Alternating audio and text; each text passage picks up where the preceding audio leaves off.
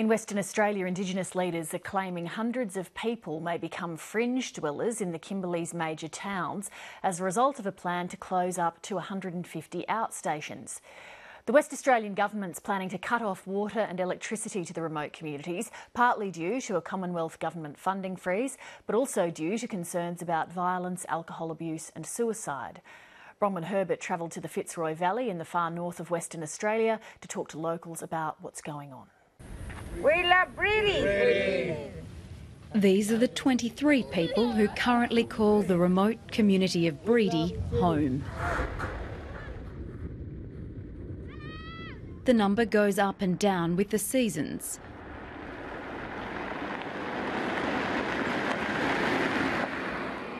After the wet, we come straight out and the people loves it. A lot of bush tucker around, bush fruit, bush veggies, um, heaps of, you know, bush tucker like, like the goanna and, you know, the fish are biting down the river and that's, that's a good thing about coming back home.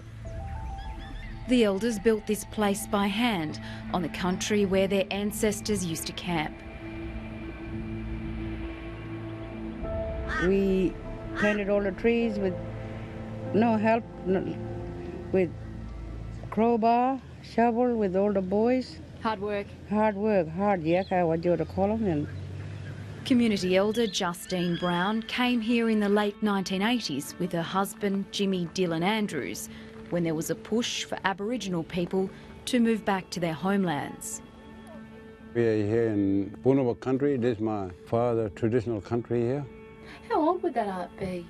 So they're going to be roughly maybe 30 to 40,000 years, maybe this one year. we like living in the bush. Come out and bring our kids now, get away from trouble. We had to come out here and because now the school people run backwards and forwards, bringing all the kids here. Most of our kids are all here. It's home for their 10 grandsons. Wait, Kellogg there, cornflake and milk there. 11 year old Savan Brown loves his life out here. It's the only home he's known. I like living here and playing around with my friends. Playing marble. Play marble. Play Casey. Do you like living out here or do you like being in town? Living out here. It's good and now fight and cause up trouble.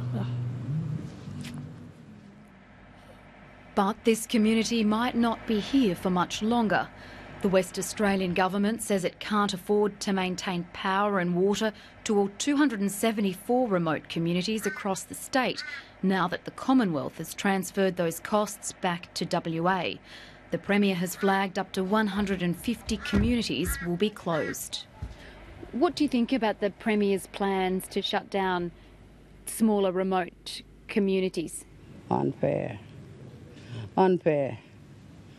We like this small community because we enjoyed it and it's a big open place here for all the kids to play, you know.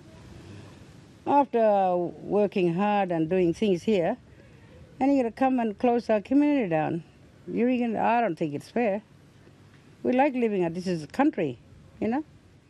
It's really, you know, very heartbreaking, and and you say to the, you know, government shouldn't have done that or going to do that. It's people go back to their homeland and they get the spiritual healing there from alcohol or thing. They, they get a heal out in the bush.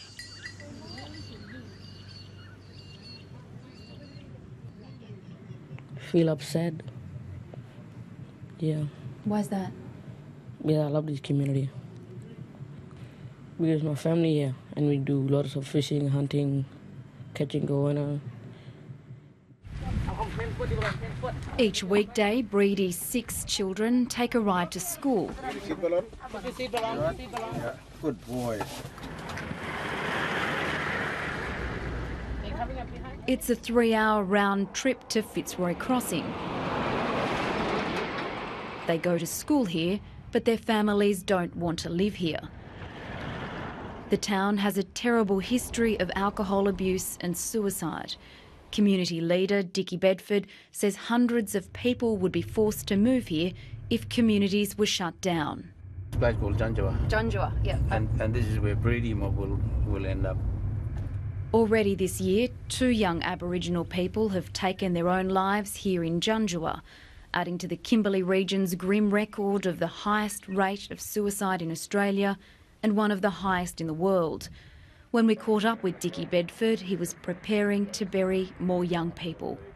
I'm going to be attending two funerals in a, in a row, two teenage girls, um, as a result of self-harming and, and suicides. The high suicide rate is one of the reasons Colin Barnett gives for closing down remote communities. Yeah, I think Premier missed the whole point when he, he describes why he wants to do this and, and, and links it to, to, to the suicides, etc. We all know it doesn't happen out there in those communities. They're generally healthier and happier um, than in town. All, all, all, everything he describes, and, and which we agree with, um, happens in, in our larger towns and, um, and, and larger communities. And He says by abandoning these communities, the WA government risks creating a new generation of dispossessed people drifting into towns. And this will perpetuate the very problems the government claims it is trying to solve. I think it's just a complete cop out for him to use our appalling statistics to bring about these sorts of policies. The most, I think, um, concerning thing about all of this is we've been nowhere in the picture. They've been, they spend a lot of time talking about us rather than talking to us. I mean, it, it's it's about us and it's about our lives, and, and perhaps I think, you know, courtesy call or, or, or just some respect might be the way to go. And the West Australian Premier Colin Barnett declined to be interviewed for that story. Bronwyn Herbert reporting.